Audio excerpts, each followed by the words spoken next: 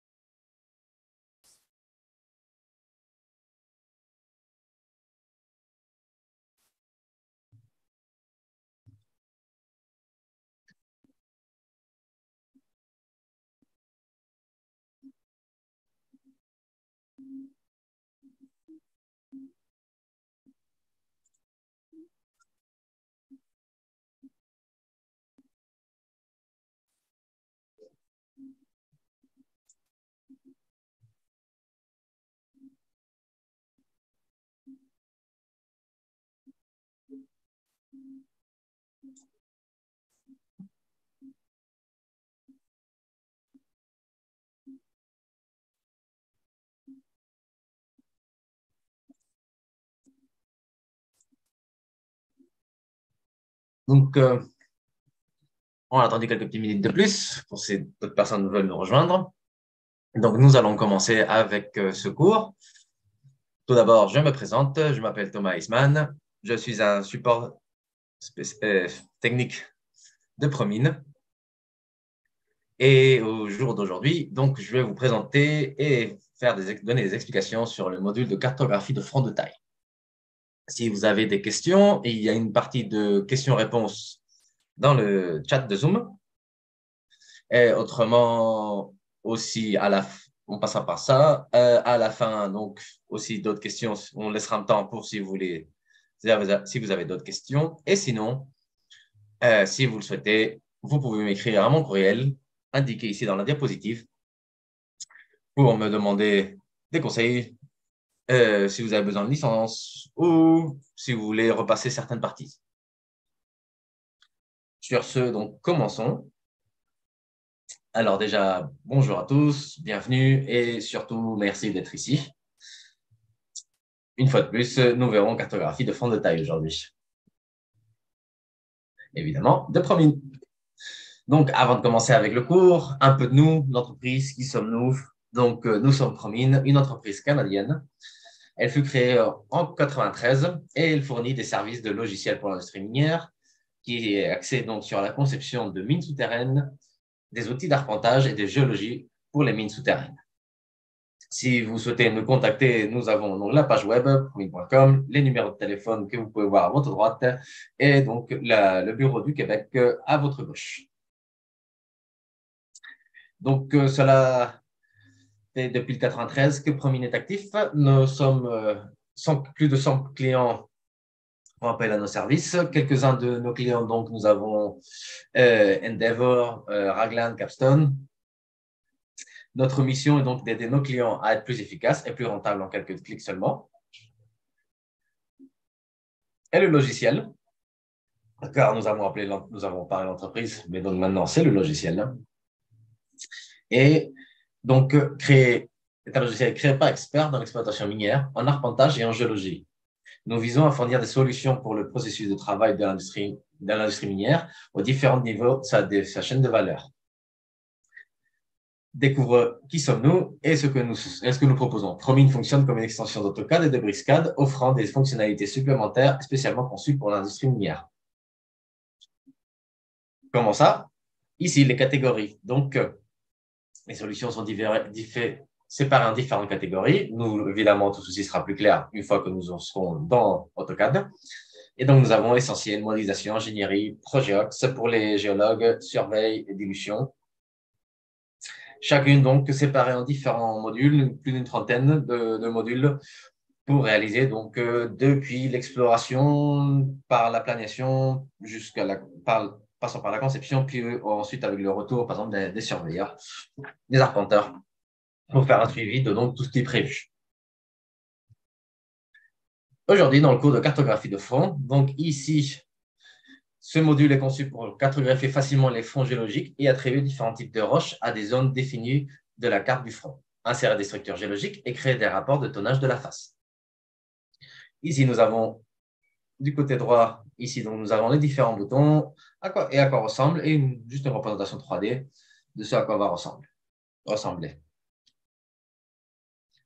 Et donc, nous allons créer une cartographie de fond, nous allons attribuer des structures et des teneurs, nous allons créer des structures, créer des types de structures, créer des rapports et puis trouver les, voir si nous avons des wedges. Nous avons donc ici la cartographie de fond, les structures, puis pour les, les définir, les rapports et les wedges, les points.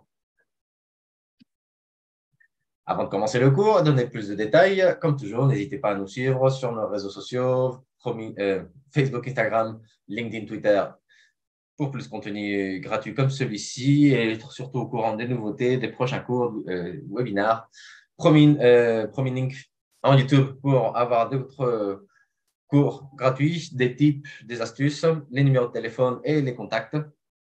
Surtout, n'hésitez pas à nous contacter et nous demander des services, licences de preuve ou des démonstrations.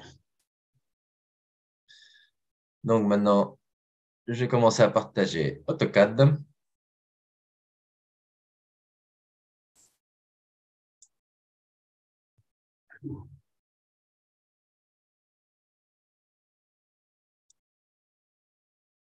OK. Voilà. Super. Donc maintenant, vous devrez pouvoir voir mon écran. Et donc, nous sommes dans AutoCAD maintenant.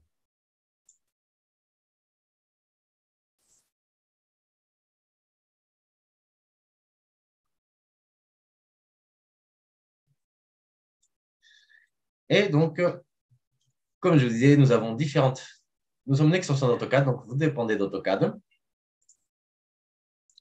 pour pouvoir l'utiliser. Et c'est ici que vous allez trouver donc, les différents onglets de Promine. Jusqu'ici, donc tout ceci sont des onglets d'AutoCAD et à partir d'essentiel, ce sont les onglets de Promine. Donc, dans l'essentiel, basiquement, vous avez les outils essentiels. Euh, surtout, ce qui se passe, c'est qu'avec Essentiel, par exemple, un des modules très sympathiques, Classeur, qui permet la, le partage le contrôle et le suivi de, tous les dessins de la mine, euh, est dans Essentiel, car donc, euh, c'est pas quelque chose de spécifique comme pour le géologue, mais, pour que ça, mais parce que ça sert pour tout le monde. Ainsi, des présentations, des coupes de sections, importer, exporter des fichiers, etc. Ensuite, nous avons modélisation, assez simple, donc, pour tout ce qui est modélisation, les galeries, les monteries, les modélisations générales, les surfaces. Ensuite, nous avons ingénierie, très peuplée, donc en deux onglets. Pour ce qui est du forage sautage souterrain, les planifications des galeries, les monteries, les chantiers, planification minière, l'arpentage, le suivi de l'eau, puis aussi ingénierie 2, donc dilution, proximité, forage sautage de surface, et de galeries, puis planification de fosses, un ruban et boussole, c'est toujours pratique, live survey, assez sympathique. Puis pour finir, donc, projet OX pour les géologues, et c'est ce que nous allons voir aujourd'hui, qui est ici, entre donc, planification de trous, trous de forage au diamant, ressources, modélisation de blocs, géostatistique et cartographie géologique. Et donc voici pour tous les différents modules et options offertes par Chromium. Pour commencer, avant d'utiliser la cartographie de front, il faut d'abord aller dans les options. Donc, vous, faites cliquer, vous cliquez dans les options de Chromium. Ensuite, vous mettez le mot de passe qui, le, par défaut, est option au pluriel avec un S, options. Et ensuite, ici, dans teneur et lithologie, vous devrez entrer donc euh, les lithologies et les teneurs de ce qui vous intéresse. C'est-à-dire, vous cliquez ici, et là, il y a une liste avec des lithologies qui, il y en a, viennent par défaut, d'autres, donc, ce sont celles dont vous avez besoin. Et donc, comment ça marche? Vous faites, vous l'ajoutez, vous pouvez le modifier, monter, descendre. On va éditer une qui s'appelle C, sa couleur, vous la choisissez, le type d'hachure, le type d'échelle et la densité. c'est la partie de la densité va être importante. L'échelle, ceci, c'est que d'esthétique. Le nom pour le, trouver et puis la densité pour les calculs. Un peu différent, mais même logique pour les teneurs. Si vous voulez travailler avec une teneur, il faut qu'elle soit dans la liste. S'il n'y est pas, ajoutez-la. Et si vous l'avez déjà ajouté aussi, vous pouvez l'éditer. Donc, avec le nom principal, les différents noms, au cas où vous avez essayé de sauvegarder avec différents noms dans différentes bases de données. par exemple, c'est écrit argent ou silver, vous l'écrivez ici, vous, l'aurez. Puis ensuite, donc, vous mettez toutes les données dont vous avez besoin. Pareil, là, vous avez des valeurs qui, donc, au plus on peut utiliser pour des calculs. Et surtout que si elles ne sont pas dans cette liste-là, vous ne pourrez pas les utiliser. Une fois que ceci est fait,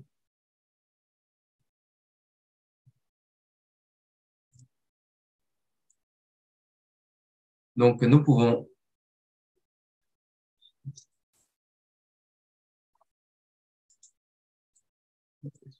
OK.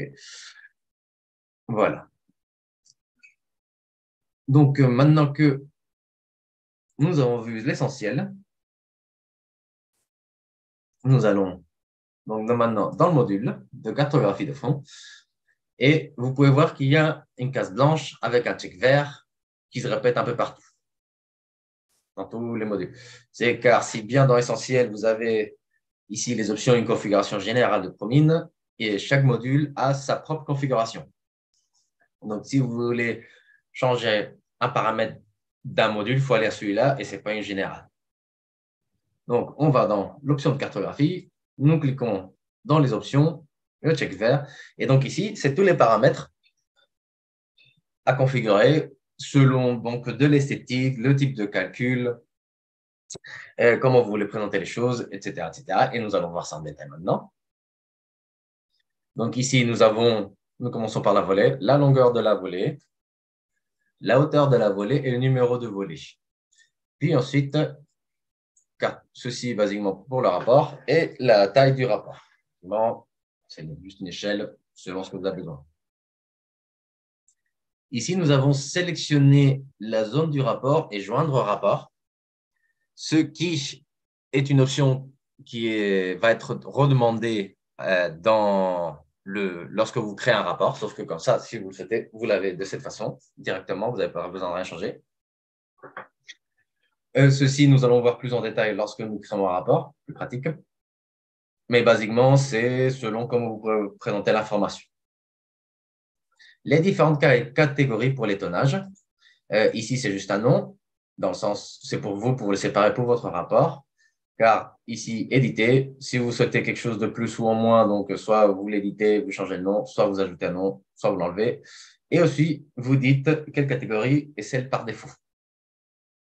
Lorsqu'on va faire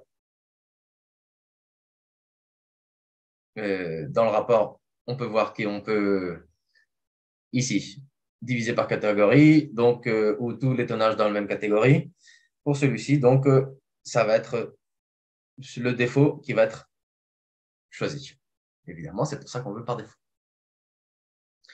Ici, d'autres options, de même que vous pouvez désactiver lorsque vous ferez le rapport. Donc, tous les tonnages dans la même catégorie, c'est-à-dire au lieu de, séparer, de les séparer dans le rapport final, ça sera ici, ça sera donc or et la totalité. Vous pouvez séparer par type de car si vous avez du or, mais dans deux lithologies différentes. Donc, au lieu que ça soit juste or, ça indiquera or, puis la lithologie qui lui concerne. Puis, donc, euh, la couleur de la section, donc de quelle couleur Les lignes, basiquement, les, la grille de la cartographie de fond, si vous voulez quelle couleur. De même, ici, peut-être qu'on peut voir une donc, les grilles vont ici. Là, on ne peut pas le voir pour l'instant, mais nous verrons au détail. Donc, euh, l'espacement entre la grille principale et la grille secondaire. Euh, rien de plus. Et si on veut l'effacer, lorsqu'on crée le rapport, ici, lorsqu'on va insérer, euh, on va désigner le type de rock, de rock nous pouvons donc soit que les teneurs Ici, on peut voir des lignes blanches, on verra plus en détail, comme toujours, plus en détail. Des lignes blanches donc, qui indiquent le type de teneur de l'or, de, l'argent, etc. Et puis aussi, si nous voulons ajouter, si nous voulons qu'elle apparaisse et si nous voulons qu'elle soit avec les unités. Et aussi, donc, l'échelle de cela. Et puis la précision. Donc ici, maintenant, c'est de là, c'est que l'esthétique. Lorsqu'on fait un rapport à la fin, il y a des valeurs qui vont être insérées, puis d'autres qui peuvent être modifiées. C'est le cas ici, donc basiquement ce qui correspond à l'entête du rapport. Vous pouvez choisir ce que les, les données. Ici, on va seulement voir utilisateur coordonnées azimut. Pour le calcul de la densité, donc c'est ici qui entre, qui est très important, et ce qui est mis dans essentiel.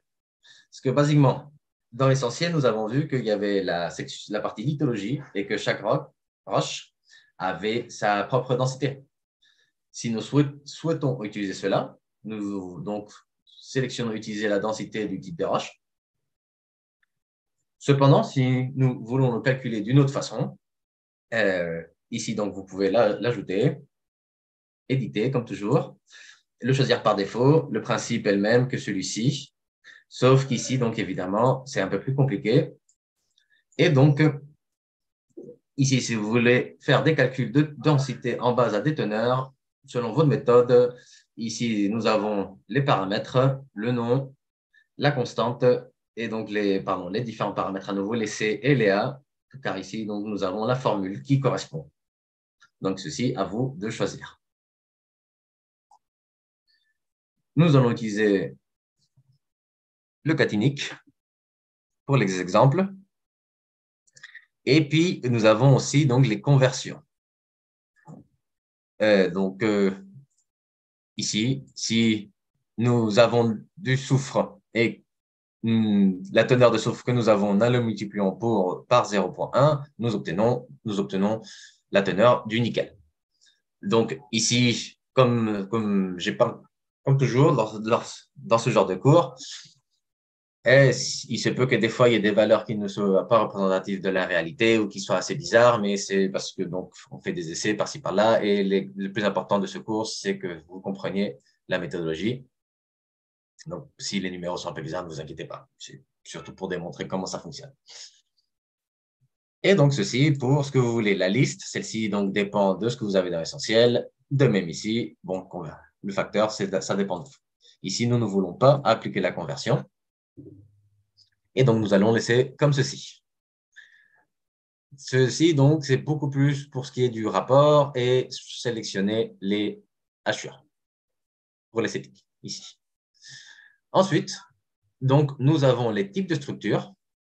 Ici, sur la ligne rouge que nous avons de ce côté, vous pouvez voir une espèce de T avec du blanc. C'est donc le type de structure à ajouter à votre structure, la ligne.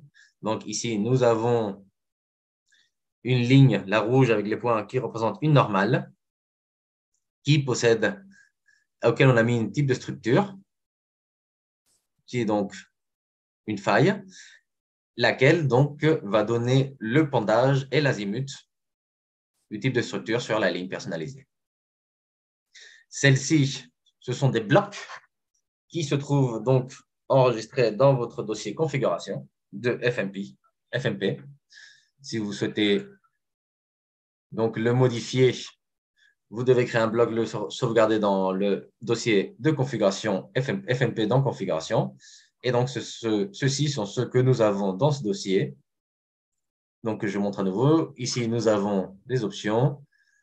Je vais prendre une pour l'éditer. Vous mettez le nom que vous souhaitez, l'échelle pour l'esthétique. Donc, ça, c'est le dessin sauvegardé dans les configurations.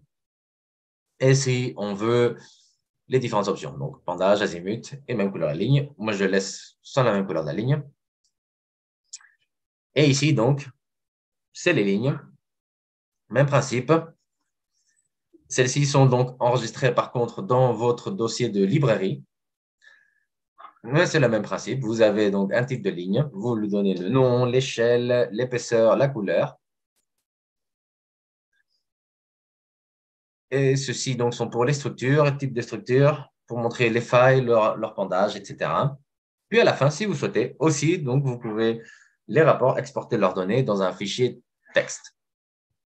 C'est simple, vous dites si vous souhaitez ou pas, vous choisissez le dossier Et voilà. Donc, moi, je ne veux pas exporter un résultat, en tout cas pas de façon systématique. Et sachant que donc, la plupart de ces valeurs sont modifiables lorsqu'on fait le rapport, mais si vous avez l'intérêt de le faire bien ici, c'est que comme ça, une fois que vous commencez, vous n'avez pas à vous préoccuper de quelles valeurs sont où. Ici, donc, un peu à quoi va ressembler une galerie avec ses différentes cartographies de front et ses rapports. Et ses rapports. Donc maintenant, commençons par les. On va faire comme ça. Ici, nous avons notre galerie. Si vous avez Promine et vous l'essayez en même temps ou chez vous, à savoir que donc le dessin que j'utilise, vous pouvez y accéder à, travers de Essentiel, Classeur, Insérer calque, ici dans Levels, 1200 et 3D Drift. Vous, faites, vous sélectionnez Levels, 1200, 3D Drift, vous faites OK et ceci sera inséré. Comme ça, vous pourrez pratiquer sur le même que le mien. Nous revenons donc à la vue normale et nous allons Projeox. Et donc maintenant, nous commençons à l'utiliser. Vaut mieux passer un peu de temps à mettre tous les paramètres en place pour ensuite commencer et ne plus avoir à s'inquiéter. Tout d'abord, donc, nous devons créer une face. Donc, nous cliquons sur le bouton Créer une face qui est mis en haut à gauche, pour que ce soit facile.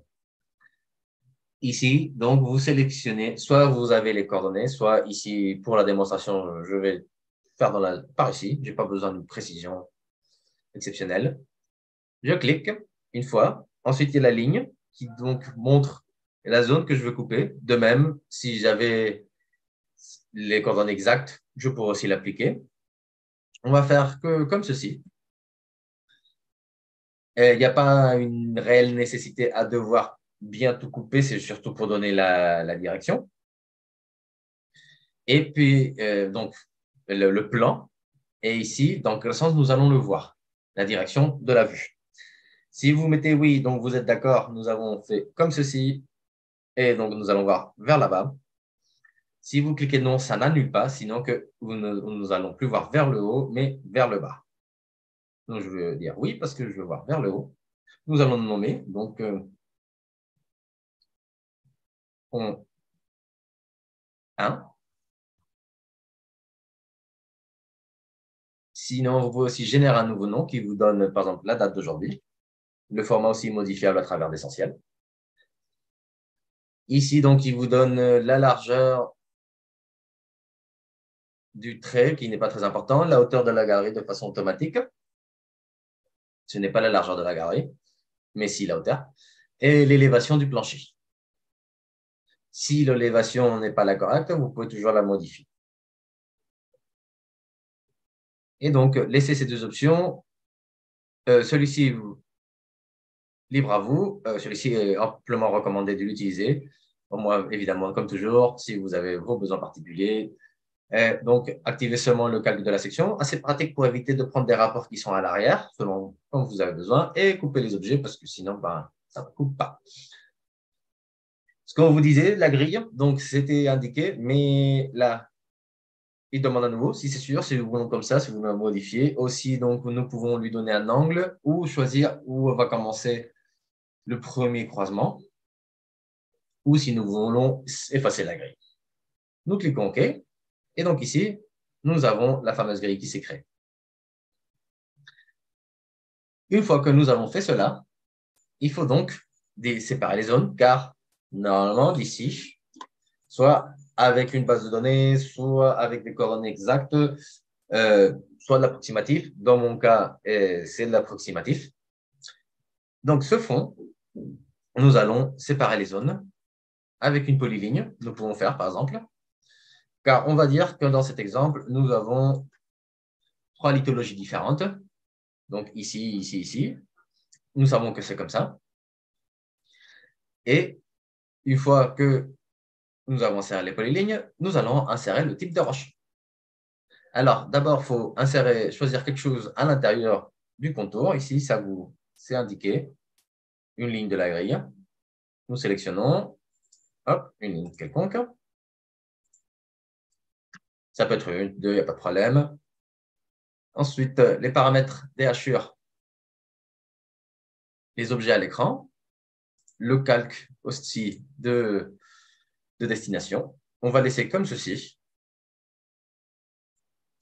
Nous cliquons OK. Puis ensuite, nous choisissons le type de lithologie. Je sélectionne donc, je dis que c'est ici que je la souhaite.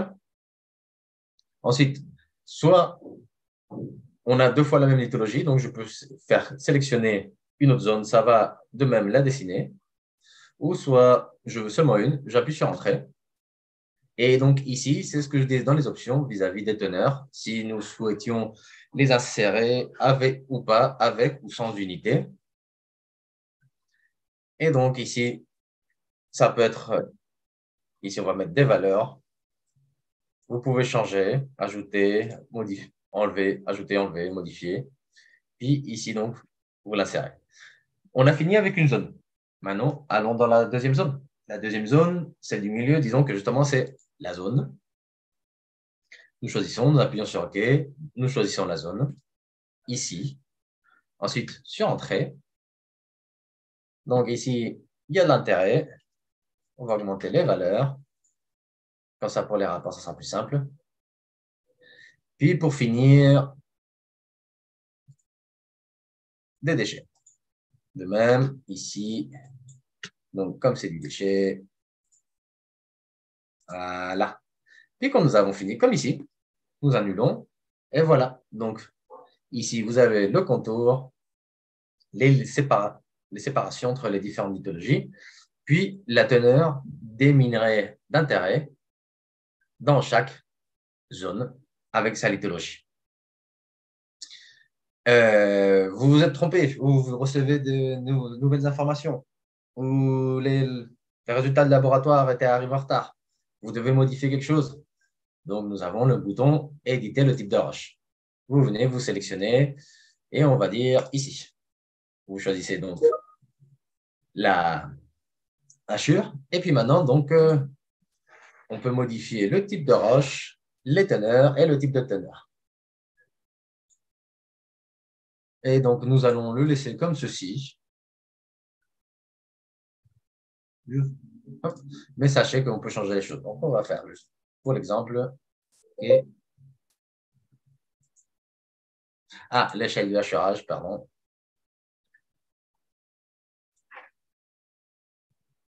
La hachure à éditer. Ah oui, c'est vrai. OK. C'était déjà fait. Comme c'est déjà fait, nous appuyons donc sur Entrée et vous voyez, donc ça met la modification. De même, donc ici c'est bien, nous avons fait la... C'est vrai, histoire qu'on puisse mieux le voir.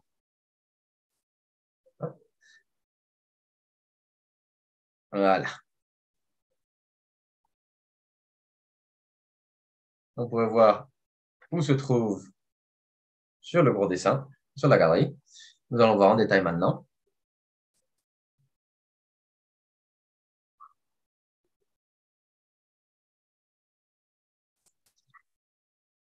Et. Et aussi à savoir que si vous souhaitez, vous pouvez déplacer, car peut-être vous le vous coupez, vous le faites ici, mais après vous voulez le placer sur un côté, par ici, chacun sa méthode. Aussi, si vous voulez le tourner, donc euh, histoire que bah, vous, créez, vous le déplacez sur le côté, puis ensuite vous mettez perpendiculaire quand ça, lorsque vous êtes dans la zone et vous tournez autour, vous le voyez, chacun sa méthodologie. Et aussi à savoir que donc ici, nous avons utilisé des polylignes, mais il se peut que donc la lithologie soit séparée due à quelque chose, une faille, disons. Et comment savoir que c'est une faille? Au lieu de mettre un mémo ou quelque chose, donc nous avons ici, dans ce qui est dessiné des, des polylignes personnalisées, ce qu'on nous avions vu dans les options. des lignes qui sont le type de ligne son fichier afin de créer de nouveau, modifier et dans le dossier de librairie, de configuration. Dans configuration. Faites dessiner. Et donc, ici, nous avons des options soit dessiner, donc directement avec le type de ligne, euh, réinitialiser donc pour la ligne spéciale, la remettre comme une simple polyligne, ou assigner, car donc j'ai déjà dessiné, car j'avais les coordonnées, et maintenant on vient me dire que, donc par exemple, c'est une faille. Je clique OK et je choisis la ligne.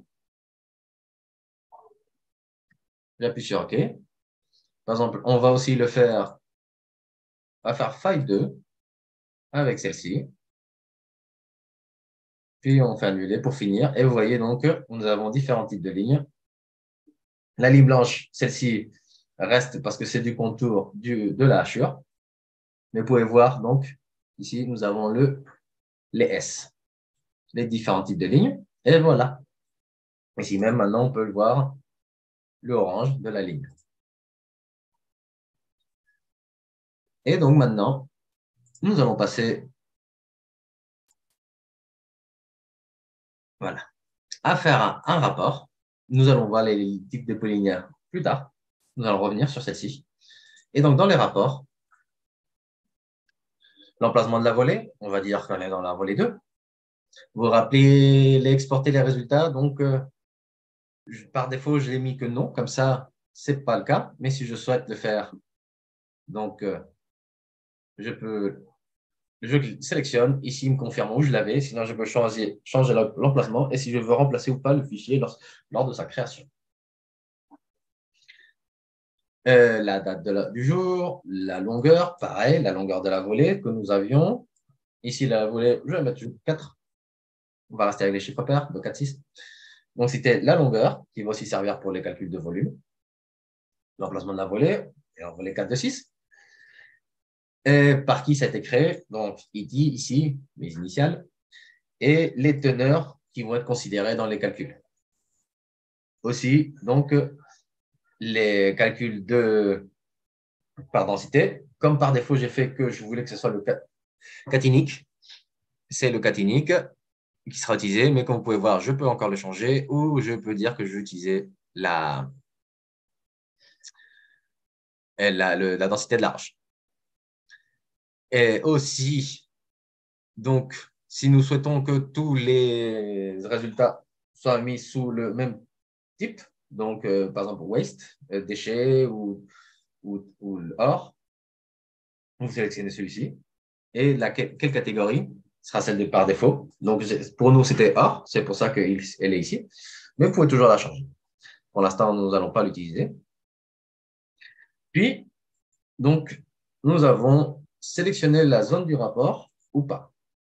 Quand c'est désélectionné, il n'y a rien à faire. Quand c'est désélectionné, nous avons aussi l'option de joindre les rapports, puis de mettre un titre à chaque partie. Pour l'instant, nous allons faire 100 et sans exporter. Quand ça, le plus simple, le, rapport plus simple. Ensuite, il nous dit quel type de minerai, enfin d'ithologie, d'intérêt. On va dire qu'on va avoir ce qui est l'or. Ensuite, il faut choisir la hachure qui lui correspond. Donc, nous avons dit que le minerai d'intérêt était ici. De même, je peux sélectionner une, deux, plusieurs. Ensuite, j'appuie sur Entrée. Ensuite, on va dire que le déchet prévu était celui-ci. Puis, on va dire que le déchet, c'est celui-ci. Ensuite, on fait annuler. Puis voilà, on a un rapport qui se crée. Et puis, vous vous rappelez que aussi dans les options, on nous demandait de choisir, je vais le montrer plus simple. Utilisateur coordonnées azimut, c'est ici, c'est pour le, l'entête du rapport. Donc là, on peut revenir un peu en arrière ce qu'on disait. Donc, si nous voulions la conversion, le type de roche ou pas, les, différentes valeurs par défaut. Donc maintenant, ici, nous pouvons voir que les catégories, or, plan waste, waste, déchets, euh, déchets prévus et déchets, et que donc, selon les valeurs indiquées, donc il y a la, longueur que c'était 2 mètres si vous êtes en système impérial, euh, métrique, pardon. Et en base à densité, donc ici du catening et des mines et les teneurs en base à donc ce qui était indiqué ici. Puis les coordonnées par qui? Et nous avons les différentes valeurs, puis le total de chacune. Donc, rappelez-vous, c'est des moyennes. Euh, il y a, les numéros sont arrondis. Il y a quelques-uns, ils sont arrondis, donc c'est pour ça que ça peut avoir des valeurs euh, qui semblent bizarres, mais c'est juste un thème d'arrondir les unités. Donc maintenant, nous allons refaire le rapport, sauf que cette fois-ci, nous allons faire sélectionner la zone du rapport.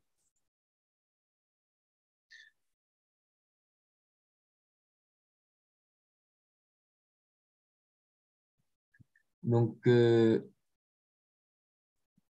je vais mettre comme ceci pour que vous voyez bien. Donc maintenant, nous allons faire sélectionner, la zone du rapport. Le reste reste pareil.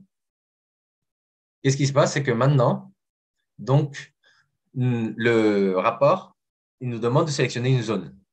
Cette zone va être la zone, euh, disons, d'intérêt, en tout cas pour le rapport. Et ensuite, un deuxième rapport va être créé pour le total. Donc, je vous montre. Ici, vous pouvez voir, je choisis la ligne qui fait le contour de l'hachure rouge. Car je veux que celle-ci soit la zone de teneur, d'intérêt. Ensuite, qu'est-ce qu'on veut? Donc, on va faire du plan waste. On va sélectionner celui-ci puis le déchet ici, puis annuler. Hum, excusez.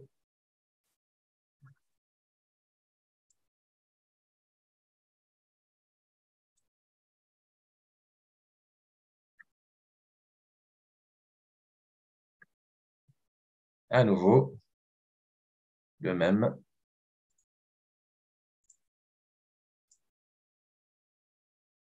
Hop, donc celui-ci, je lui indique.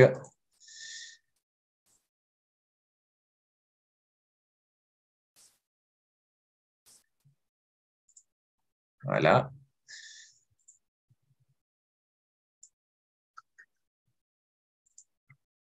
Et voilà, excusez, c'est que j'avais oublié de faire un clic dans la version dans l'essai antérieur.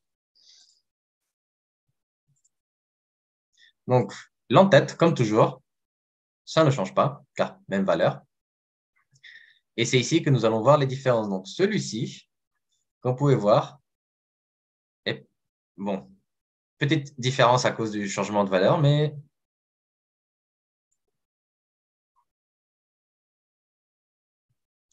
euh, mais si vous, pouvez, mais si vous voyez, c'est donc c'est la même chose. Juste fait un changement, mais c'est en fait à cause d'un clic. Ou ça diffère c'est que, donc, comme vous pouvez voir, grâce au titre, vous vous rappelez les titres que j'avais mis, donc ils apparaissent ici, titre zone, titre total. C'est car ici, donc maintenant, nous avons, si bien il va indiquer waste, plan waste, c'est parce qu'au total, nous avons indiqué qu'il y avait ça pour le total. Donc, lui, il reprend ça. Cependant, donc, nous, nous avions dit que nous avions indiqué sélectionner cette zone et cette zone, nous avons dit que c'était or. Et si nous voyons bien, donc vous pouvez voir qu'ici, nous avons seulement les valeurs dehors, car c'est la zone d'intérêt pour sa titre zone. Et si vous voyez, les valeurs sont les mêmes ici et ici. Donc, c'est les mêmes, car dans ce cas où il y a la teneur, le minerai d'intérêt avec une teneur intéressante économique, est ici au milieu. Car si nous avons une autre teneur, mais plus faible ici, donc ce résultat serait supérieur, car ça serait celui-ci, la zone d'intérêt, plus les autres qu'il y aurait dans le dessin. Et pour finir, avec les rapports, nous allons joindre les rapports, ce qui va faire que, je vous montre plus simple. Pareil, là, c'est contour de la zone, parce qu'on est en train de travailler le même type. Pardon. Annuler. Une fois de plus. J'ai mal cliqué. Le contour. Hop. On dit que c'est là. Voilà. Ici, on va faire la même chose qu'auparavant. La différence maintenant, c'est que ça fait un peu comme celui-ci dans le sens une en-tête, un rapport, sauf que donc maintenant, c'est les deux sont ensemble, tout simplement. Et pour finir, nous avons la moyenne pondérée. Donc, si vous avez plusieurs rapports, celui-ci va vous faire une moyenne pondérée. Essayons avec celui-ci. Voilà. Donc, nous avons plusieurs rapports.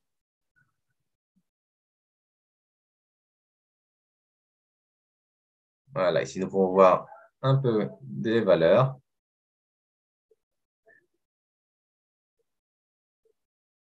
6, 12, 27. OK. Puis ensuite, nous faisons la moyenne. Alors, nous choisissons un rapport, deux rapports, trois rapports. Nous appuyons, sur Entrée. Donc, celui-ci, est la vue en plan. C'est normal. Donc, ici, nous avions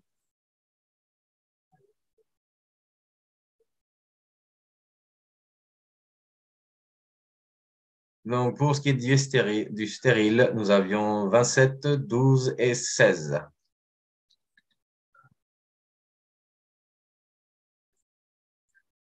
Oh, pardon. Donc, 27, 12 et 16. Eh, excusez la, la, langue. Mais donc, 27, 12 et 16, nous sommes bien donc par la moyenne. Évidemment, donc là, il faudrait voir les rapports en détail, mais qu'on pouvait voir, ça, ça coïncide avec ça. Donc, lorsque vous avez plusieurs rapports, vous, faites, vous sélectionnez, ça fait la moyenne de tout.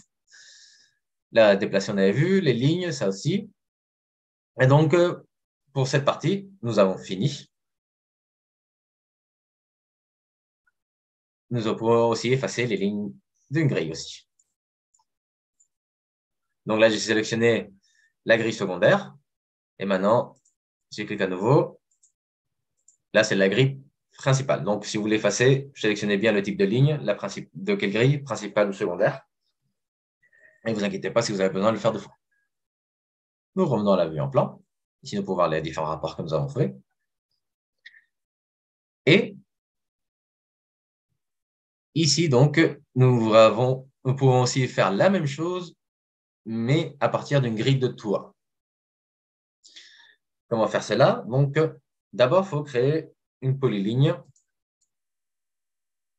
Je vais changer la couleur, histoire de bien voir dans la zone dans laquelle nous travaillons.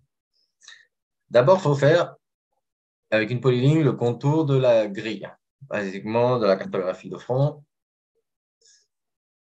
Ici, celle-ci, comme vous pouvez voir, elle est au niveau 0 et la galerie, donc le toit, il est vers 1204, plus ou moins, car la partie, le, plancher est en 1200. Et pour dessiner la grille de toit, donc, nous choisissons une polyligne de contour. Ou sinon, c'était le contour ici. Donc, moi, c'est une maille. C'est pour ça que je fais une polyligne. Et donc, la, même chose. L'espacement de la grille principale secondaire. Puis, lui donner un angle, une origine. Et puis, s'il y en a une, elle vous permet d'effacer. Puis ensuite, pour l'élévation, soit car je vous avais dit, donc celle-ci, la, la polyligne est à zéro, ça n'a pas d'intérêt que ce soit zéro, nous le voulons en haut. Donc, soit je peux faire utiliser un seul point, donc le donner directement ou piquer l'élévation de la zone intéressée, soit entre deux points, car si votre toit n'est pas droit, il a un angle, donc euh, plus intéressant. Puis si ensuite, il faudra venir ici, entre deux points, point 1, excusez,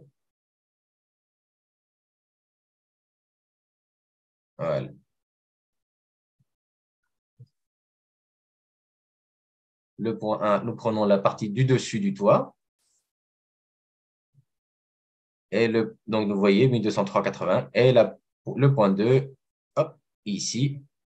Et en plus, il vous indique s'il y a une pente ou pas. Disons, on va prendre la partie basse. Ici, nous aurions moins 112%. Hop. Et une fois que c'est fait, donc calque de destination, comme toujours. Et une fois que c'est fait, Hmm, celui-ci, on va laisser en zéro. Nous appuyons sur OK. Hop. Et voilà, vous avez la grille. Bien au niveau du toit. Maintenant, je peux déplacer plus facilement car je n'ai plus la polyligne qui était en bas. Pour le reste, c'est pareil, donc euh, vous travaillez pareil. Et pour finir, bon, pardon, pour finir, euh, nous avons fini avec euh, créer des cartographies de fond et réaliser les rapports. Donc maintenant, nous allons nous occuper des structures. On va faire comme avant, utiliser des polylignes. Donc, on va dire qu'on a plusieurs failles. On va mettre, euh, on va travailler dans cette zone. Ici, ici, et ici. On va mettre différentes hauteurs.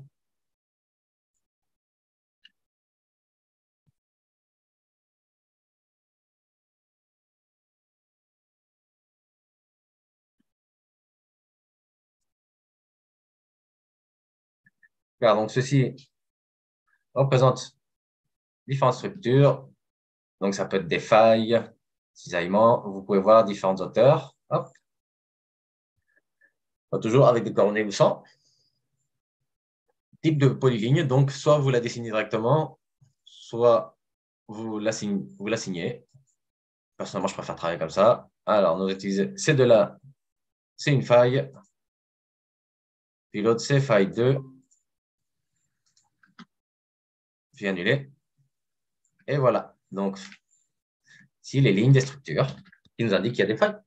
Mais maintenant, donc, l'intérêt de cela est de pouvoir savoir si il y a, si cela va créer un problème lors de la conception de la mine. Donc, euh, on va serrer type de structure dessus pour lui donner donc un pendage. L'azimut, il a déjà. Donc, faille 1, L'endroit.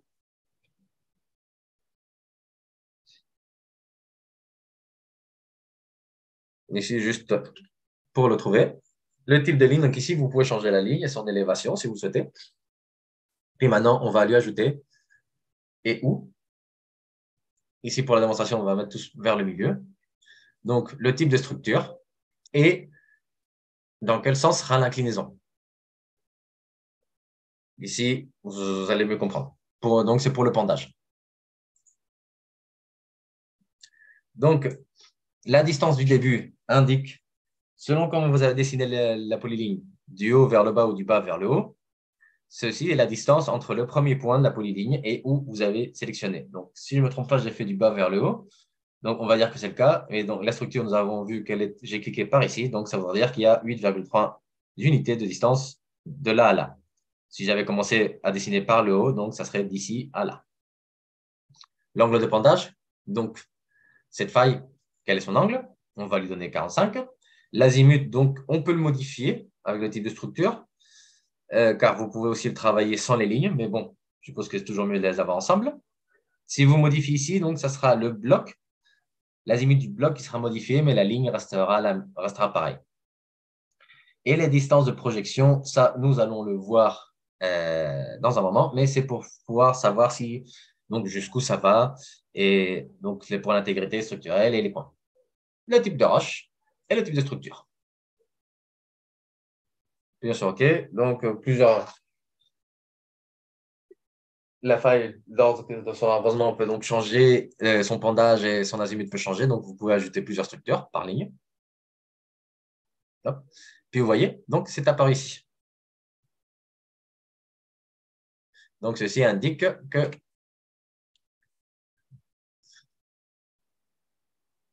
l'azimut est le pendage. Pour mieux entendre le pendage, aussi, on va voir ce qui est modélisé surface. Donc, lorsque vous avez une structure avec son type de structure insérée, donc avec pendage et azimut intégré, et aussi sa projection, nous cliquons modélisation surface, nous cliquons sur la structure, on appuie sur OK. Vous dites vers où vous voulez faire l'extrusion vous voulez que la structure soit extrudée. Donc, vous allez le faire vers le, vers le bas pour que vous puissiez mieux comprendre. Et donc, nous avons la distance. Ceci, donc, ça va être la distance qui, par défaut, est 5 et que dans la structure, c'est indiqué de 5, mais que vous pouvez aussi modifier si vous le souhaitez. Donc, dans ce cas, on va travailler avec la valeur de 5. Alors, la distance réelle distance verticale, donc c'est-à-dire si la projection, ici nous avons un angle de 45, donc soit nous voulons avoir d'ici projeté à 45 degrés pendant une distance de 5 mètres, 5 unités, ou nous voulons par exemple que la projection donc, soit, seulement, soit complètement verticale et ça soit de 5 mètres.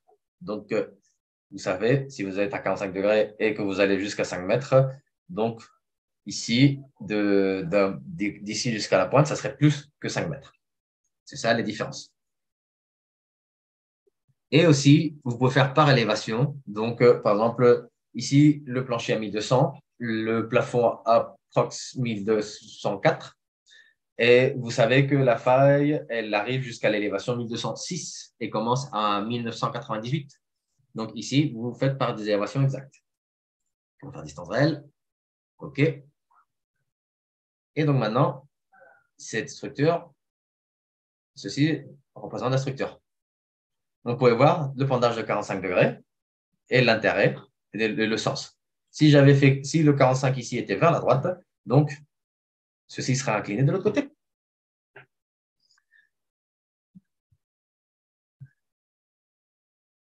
Euh, donc, je vais faire la même chose avec celui-ci. C'était faille 1.2, je ne me trompe pas.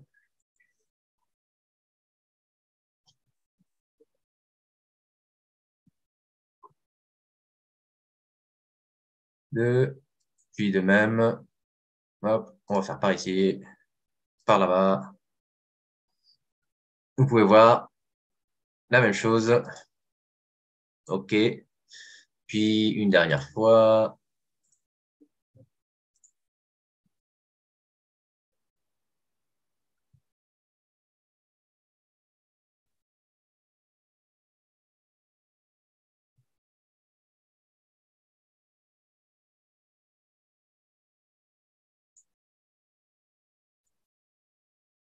Et puis, OK. Donc, voilà. Nous sommes ici. Quel est l'intérêt de cela? Donc, vous pouvez faire plusieurs structures pour savoir donc si vous avez des, problèmes. Vous, pouvez les extruder en modélisant des surfaces. Ou vous pouvez donc trouver des points. La hauteur de projection verticale et la distance de rallongement des structures. Donc,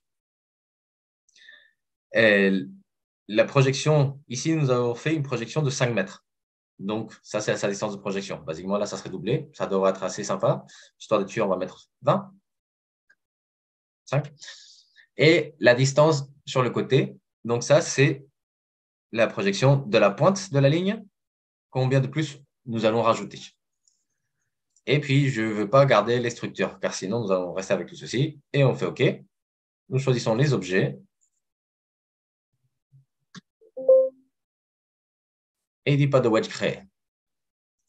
Nous allons essayer à nouveau. Nous allons faire plus, histoire de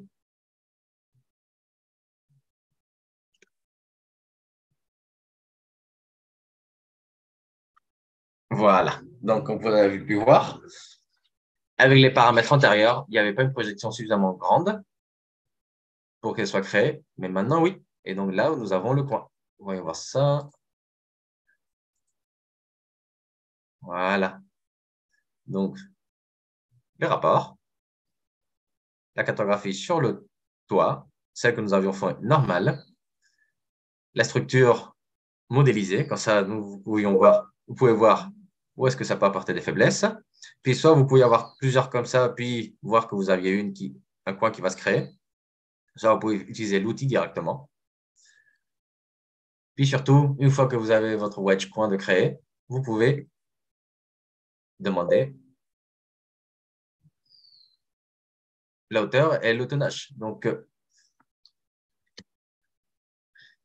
ici,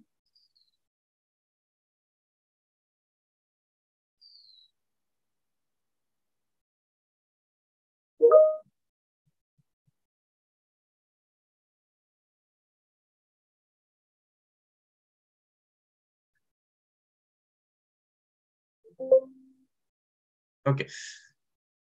Excusez-moi, euh, il y a eu un petit problème de calcul de tonnage. Normalement, ça, vous fait le calcul sans problème. Et donc, euh, maintenant, par contre, où est-ce que... Ah oui, c'est vrai, parce que nous sommes comme ça. Voilà, donc euh, ça, c'est en sachant plus ou moins, parce que vous voulez créer le Wechta, là, mais sinon, vous pouvez aussi chercher si vous aviez plein de structures. Vous pouvez choisir, ici, il y en a seulement trois. Euh, vous pouvez choisir le calque du mur pour que la création soit le plus proche possible du mur. Vous pouvez juste appuyer sur Entrée. Même principe, longueur des structures, distance de projection. Là, je mets des numéros très grands histoire d'être sûr de le voir. Que ce soit utiliser volume ou que vous utilisez les tonnages. Donc, ceci est si le coin, le wedge, est inférieur à une tonne, il ne va pas être créé. Ça va dire que non. S'il est supérieur, ça va, dire, ça va dire que non plus, ça ne va pas le créer. Vous, la densité, vous choisissez la densité, pardon. Puis pareil, donc les paramètres. Si, de quelle façon vous acceptez, vous acceptez pas. Ici, histoire de rassurer, donc on a mis tout maximum, mais donc le pendage minimum maximum, la, hauteur minimum maximum donc du coin, l'azimut. Puis euh, ensuite, si vous voulez garder les structures ou pas. Puis pareil, si vous travaillez avec trois, plus, moins. Donc on va faire trois structures à la fois. Et là, hop, il est réapparu. Cependant, voilà. Et donc, vous avez, une fois qu'il est paru, vous faites les données du wedge et vous avez donc euh, le poids, la hauteur, par qui et la date.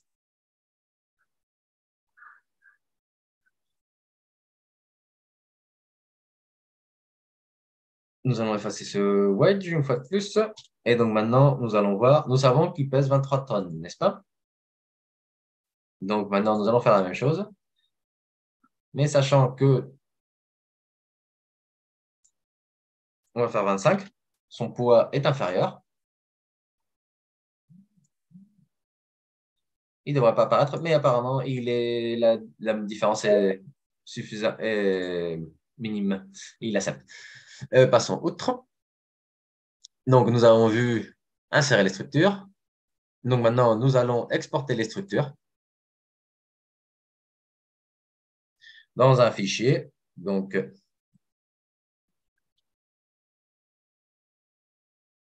nous choisissons les objets.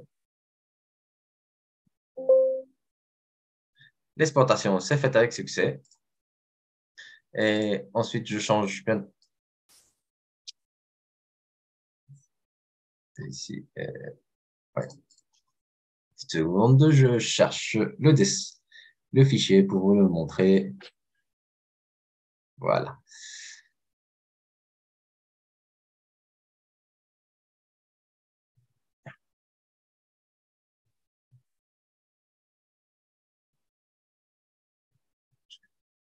Euh,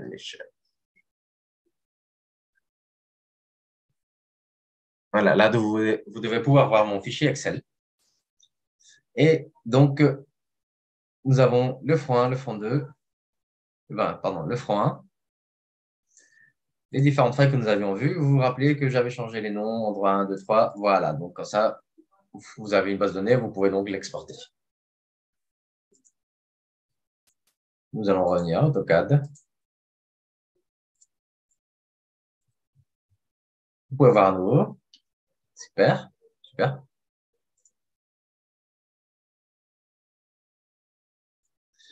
Et donc, il nous reste plus que la projection. On peut envoyer sur le toit les types destructeurs. C'est-à-dire ici, donc, nous avons différents types de structures sur leurs lignes qui sont différentes hauteurs, mais comme par exemple l'outil de recherche de coin de wedge euh, va lire l'information à l'intérieur du bloc. Donc, vous pouvez avoir le bloc n'importe où. il va quand même donner les résultats. Donc, sachant ceci, si vous le souhaitez, car cela vous convient, vous pouvez projeter donc les structures sur le toit du chantier. Vous cliquez sur la commande, sur la structure que vous souhaitez projeter, on va faire ça aussi. Nous appuyons sur Entrée. Vous choisissez la galerie, peu importe où vous sélectionnez, car automatiquement, il va trouver la zone la plus haute. Et donc là, vous pouvez voir, la structure est projetée sur le toit. Donc l'autre, ça ne voit pratiquement pas car donc, la ligne, était presque au même niveau. Mais vous pouvez voir, donc elle est passée d'être sur la ligne au toit. Avec ceci, donc, je vais conclure le cours. Nous avons vu tout en détail. Ici. Donc, lorsque c'est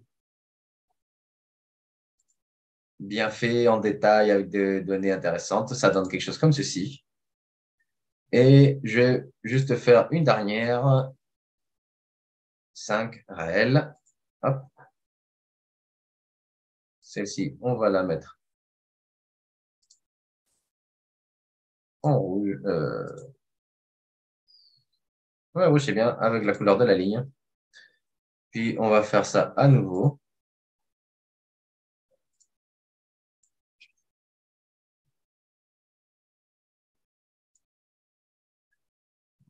Et voilà. Et donc, maintenant, on peut voir la différence. Nous avons projeté à partir de cette ligne. Et là, nous avons, vous pouvez voir que la rouge, la, projection rouge, la surface rouge, elle arrive moins haut que la blanche. Car la première, nous avions fait distance réelle, tandis que la deuxième, c'est distance verticale. Donc ici, il a fait de façon... C'est pour ça les différentes mesures.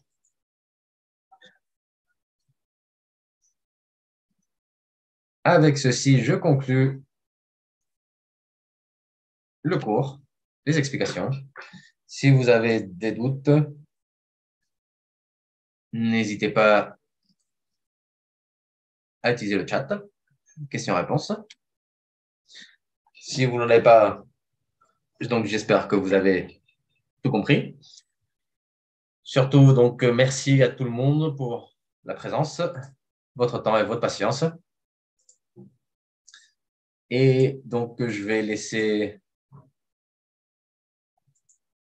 passer quelques minutes si quelqu'un souhaite avoir une question ou une question lui vient à la tête et passer, donc, on va dire, 4 euh, minutes de plus pour que ce soit 2h10. Passer ce temps-là, donc, je donnerai fin complètement au cours.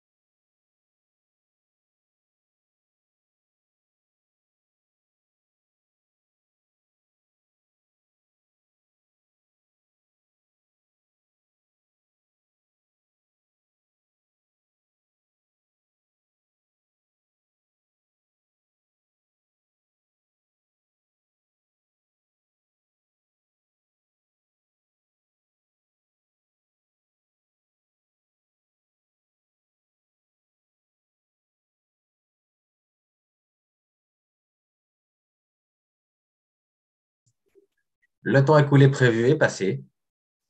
Donc, euh, merci, merci beaucoup, Jesus, pour le commentaire. Merci surtout, merci à vous.